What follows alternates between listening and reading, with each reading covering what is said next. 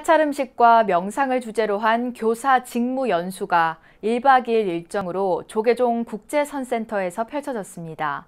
각급 학교 불자교사 20여 명이 소중한 체험을 하면서 청소년 교육과 불교 포교의 미래도 함께 고민했습니다. 권송희 기자가 취재했습니다. 여름방학을 맞아 초중고 교사 20여 명이 서울 목동 조계종 국제선센터에 모였습니다. 불교계 청소년 포교 단체인 파라미타 청소년 연합회가 마련한 제2회 교원 직무 연수.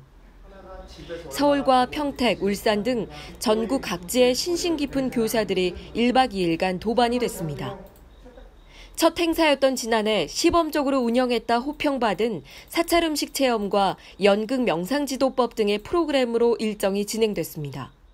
어, 여기서 연극을 한 것을 학급 어, 수업 시간에 이렇게 적용을 하셔요. 연극을 통한 어떤 역할 놀이 그런 걸 많이 적용해서 아이들이 집중도를 향상시켰다 그런 피드백을 받았어요. 결국은 나를 사랑하는 방법이 명상이라고 생각을 해요.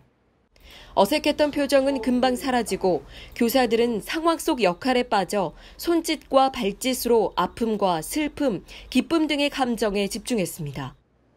명상을 하면서 근기를 키우고 몸과 마음의 균형을 잡는 법을 집중적으로 익혔습니다.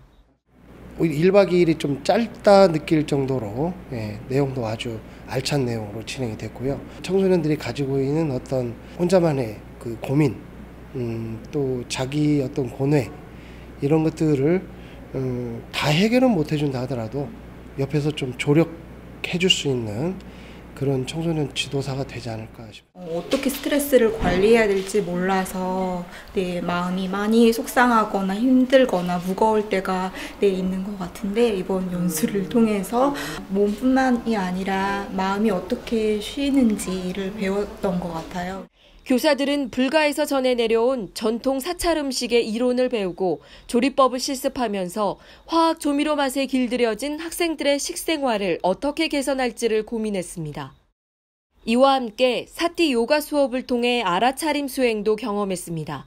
제가 이제 초등학교 근무하고 있으니까 이제 뭐 먹거리 같은 경우도 이제 바른 먹거리를 위해서 그런 부분도 오늘 뭐 체험하면서 되게 이제 사찰 음식이 이런 이제 웰빙 트렌드라고 해야 되나 그게 맞다고 생각했고 선생님들이 이제 좀 많이 알면은 반가워할 연수고.